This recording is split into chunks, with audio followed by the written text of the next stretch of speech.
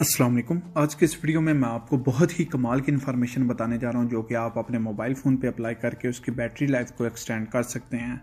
Mobile phone में बहुत सी ऐसी चीज़ें होती हैं जो बैकग्राउंड में रन करती रहती हैं और आपके जो है मोबाइल फ़ोन की बैटरी के ड्रेन का सबब बनती हैं।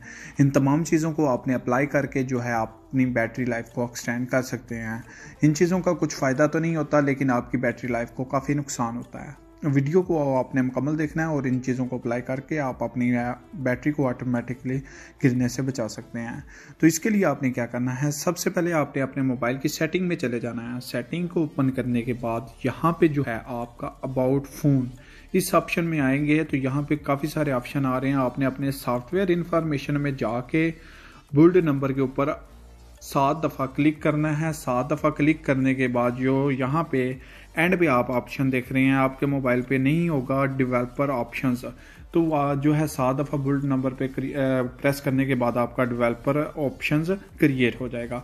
इसको आपने ओपन कर लेना है। ओपन करने के बाद यहाँ से आपने नीचे चले जाना है थोड़ा सा।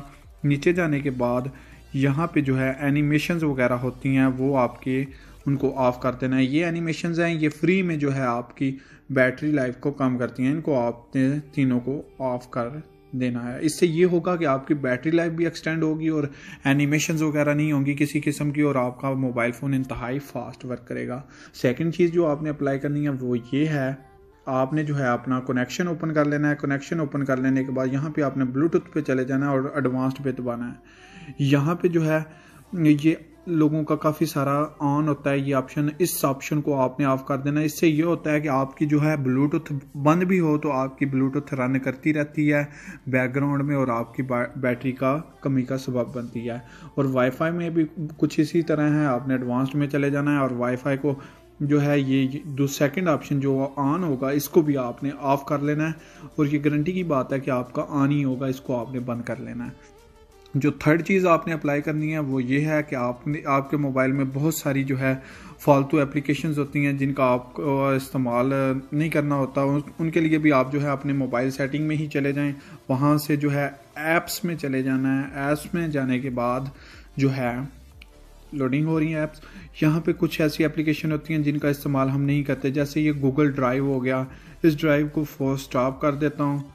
इसको जो है अनइंस्टॉल भी आपने कर देना है। इन चीज़ों को आपने जो आप बिल्कुल भी इस्तेमाल नहीं करते, इनको आपने फोर स्टॉप कर देना है। अब ये डी यू है, इसको भी फोर स्टॉप कर दूँगा, क्योंकि मैंने कभी खोलनी नहीं है और ना इसने दोबारा से रन करने लग जाना है। एक और चीज़ जो कि मैं आपको बताऊँगा, इसमें अप्लाई करने वाली वो ये है कि आपने इन तमाम चीज़ों को फोर्स स्टॉप तो कर दिया। अगर आपके पास मोबाइल फ़ोन जो है वो सैमसंग का है तो आपने जो है इसकी बैटरी में चले जाना है। बैटरी में जाने के बाद यहाँ से आपने एक सेटिंग करनी है। ये तीन डॉट वाला ऑप्शन आ रहा है, इसको आपने क्लिक करेंगे तो यहाँ पे सेटिंग आएगी।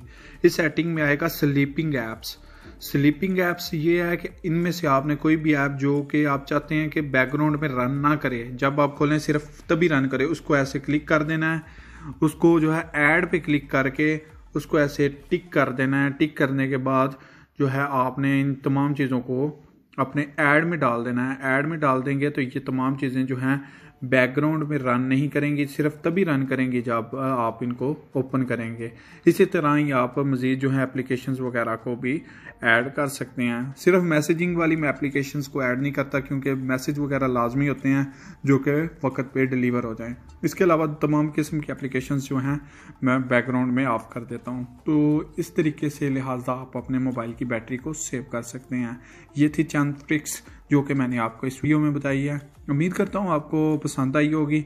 अगर आपकी बैटरी का इशू है तो इन चीज़ों को अप्लाई करें। हंड्रेड परसेंट आपका जो है, इससे फ़ायदा होगा। वीडियो अच्छी लगी है, लाइक लाजमी करें, कमेंट करें और मेरे चैनल को भी सब्सक्राइब करें। मज़ीद वीडियोज़ भी मैं अपलोड करता हूँ। उनको भी आप देखें। बेल आइकन को प्रेस कर दें ताकि कोई भी आप वीडियो मिस ना कर सकें। अपना ख्याल रखिएगा। अल्लाह।